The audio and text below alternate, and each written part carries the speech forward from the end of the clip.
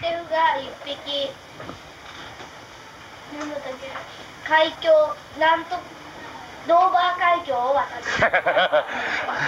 て他の学校の先生も見に来ててで、えーなんとかゼミの学生さんもガーって見に来ててしかも映像が残ってるから当時の、えーっとカメラですね。こんなのをこうやって抱えてる状態でこう撮影してると。でそれは3年生でしょ？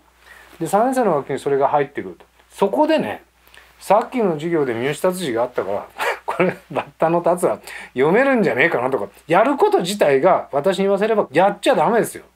やっちゃダメなんだけども、まあ、もう一回見てくださいこの映像。この子たちは危機として読みますよ。わからないところは何とかかんとかでいいんだというふうにずっと指導されてる。そのことによってね授業のリズムが崩れないんですよ。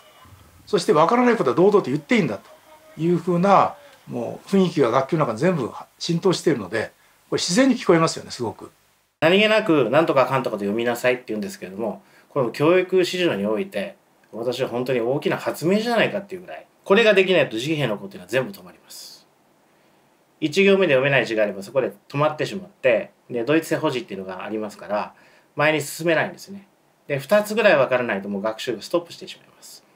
そうなってくると0か100かっていう思考になっていくので一番最初から取り組まないっていう状態生まれるんですね。